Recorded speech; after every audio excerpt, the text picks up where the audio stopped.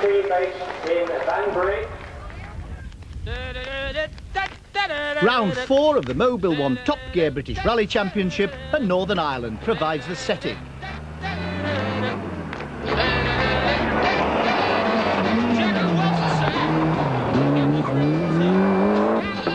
Attraction of this rally is that it's run over closed public roads, but that means a lot of extra work for the organisers. 5,000 householders have to be informed, 1,500 marshals have to be recruited, and 700 junctions have got to be taped up. And that means 21 miles of tape, or to put it another way, enough tape to stretch all the way across the English Channel from Calais to Dover.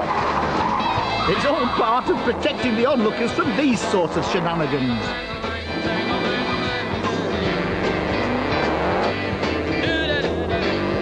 Richard Burns could become the youngest ever British rally champion here in Ulster. If I don't win the championship here, there's still a chance to do the do the job on the Isle of Man. Um, and I like the Isle of Man very, very much indeed. But uh, obviously, it'd be nice to, to get get it all sorted out here. What advice would you give to young Richard Burns? Go like hell. Another man with the same sentiment, Malcolm Wilson. He started at number one and was determined to stay ahead of the field.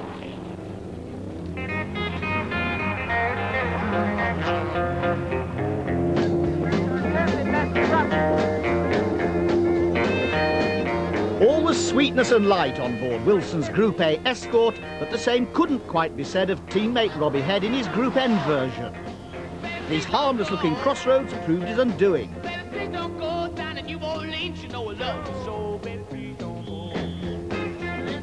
It brought a whole new meaning to the phrase, here's mud in your eye.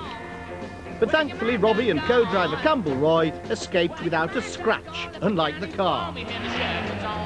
Steve Bennett's Peugeot appeared to have a mind of its own, while Mark Higgins' suspension strut tried to see the light of day by pushing itself through the bonnet.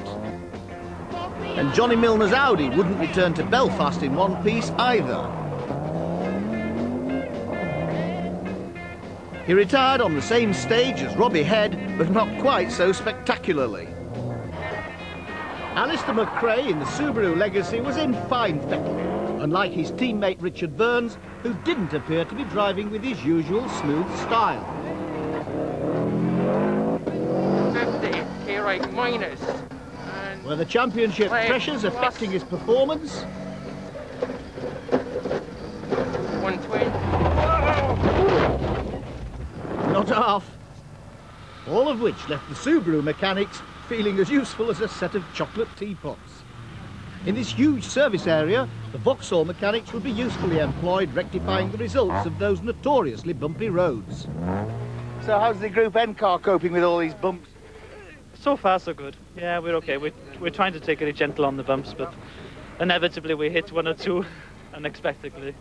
Of course, you won the Ulster Rally three or four years ago. It must be one of your favourite events, is it? Ah, it's been good to me in the past, and I hope it'll be good to me again. You're going to run over me.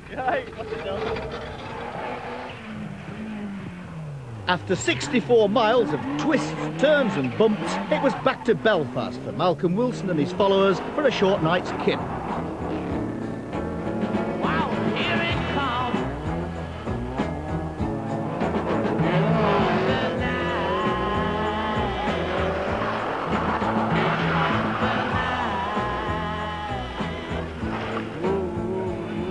Good result here could make Bertie Fisher Irish champion for the third time in four years. But gearbox problems were not helping his cause. Well, you know, it's always very, very hard to quantify how much time you lose with something like that, but certainly uh, when the co-driver can tell me the car's out of gear before I realise it myself, it must be losing time.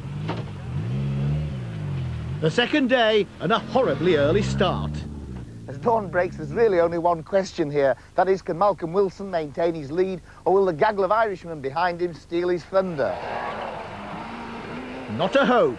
No way was Malcolm Wilson going to give up his hard-fought lead, and it was left to Bertie Fisher to drive in his wake in his privately entered Subaru, enjoying his own battle for second place with young Alister McRae in the works version.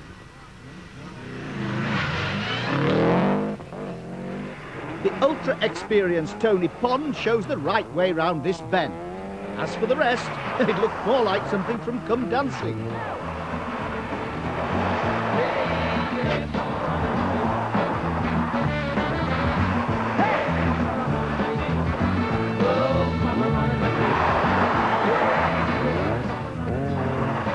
Even boxer Barry McGuigan was on the ropes. Uh, I tell you what, I feel like I've done 15 rounds, you know.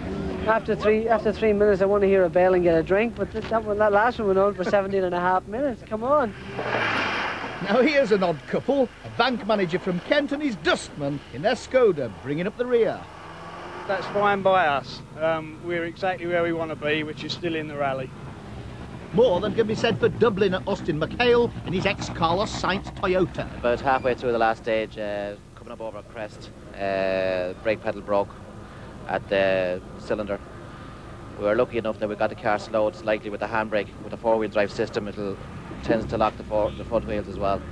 But we obviously went off and we've done a lot of damage. But I'm just happy enough that there hasn't been uh, a serious accident. It's been quite a shock. I would obviously yeah, give you a shock too if you lost your brake pedal at 100 mile an hour. But there were no such worries for the flying Wilson.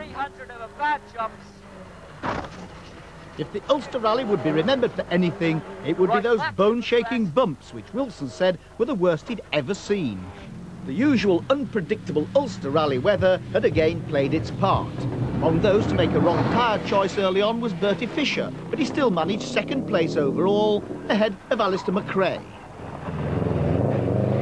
Kenny McKinstry finished fourth, despite losing a minute with his wrong tyre choice. But it was a textbook run for David Llewellyn and Ian Grindrod, fifth overall and first in Formula 2. Behind them, Gwyndaf Evans and Howard Davies climbed back to win Group N. All Richard Burns and Robert Reid could do was stand and stare and think what might have been. Turn late, medium left and a finish. For Malcolm Wilson and Brian Thomas in their escort, it had been a perfect, trouble-free rally for once. 100 to stop. A well-deserved victory. That's the way to do it.